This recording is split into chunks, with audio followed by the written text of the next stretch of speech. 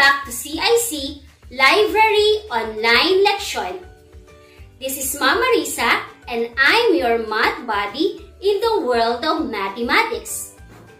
In this video lesson, we are going to learn about division. Learners, do you like to hear a story?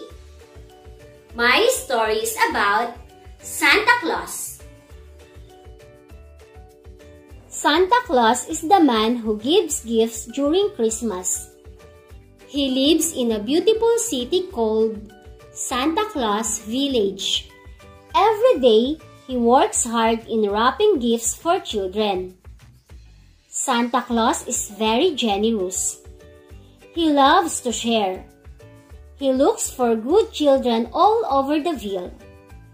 He always makes sure to have bundles of gift toys and candies for the good little boys and girls. One day, when Santa Claus was walking around the ville, he saw three children. But he had nine candies left in his bag.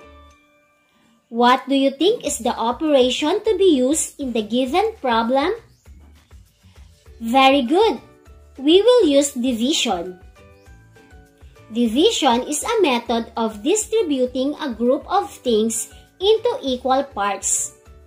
It is one of the four basic operations of arithmetic which gives a fair result of sharing.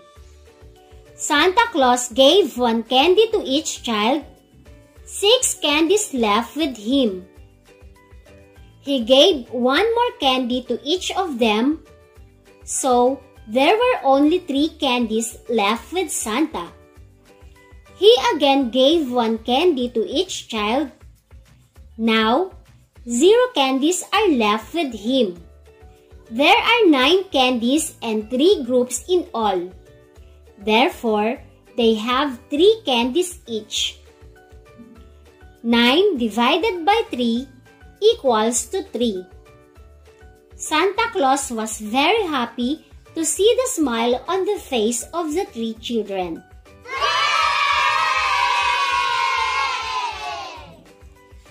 Division is represented by this sign. Dividend is a number that being divided. A divisor is a number that divides the dividend. And the answer in division is called quotient.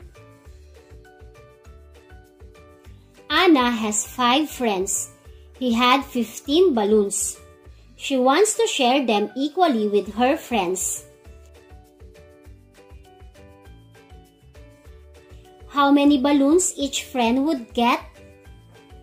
Thus, we can say that 15 balloons have been shared equally among 5 friends by giving 3 balloons to each one of them. This means 15 divided by 5 is equal to 3. Here is another example. Mother has 12 apples. She has to give apples to 4 children. So let's help her share the apples equally.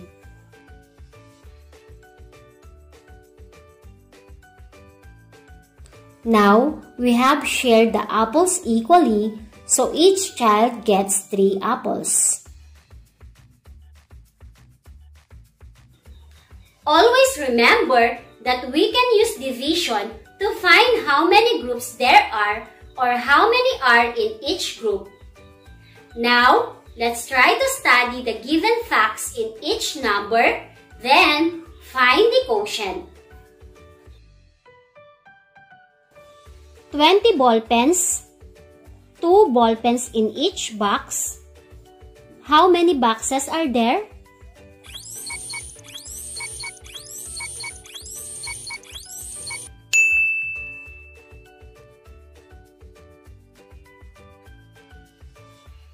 Eight chocolate bars. Two chocolate bars each child. How many children have chocolate bars?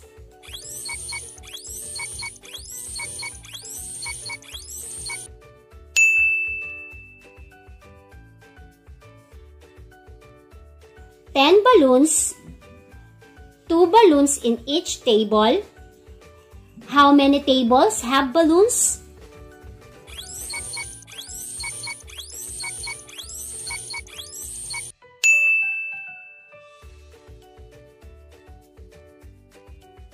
Six balls. Two balls each child.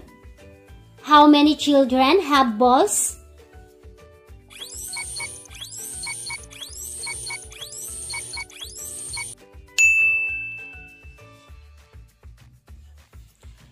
Fourteen flowers.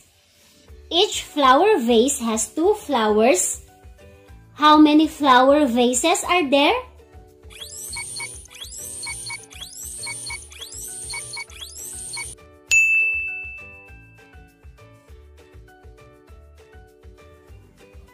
And that's all for today. Once again, this is Mama Marisa and see you again on our next episode. Bye!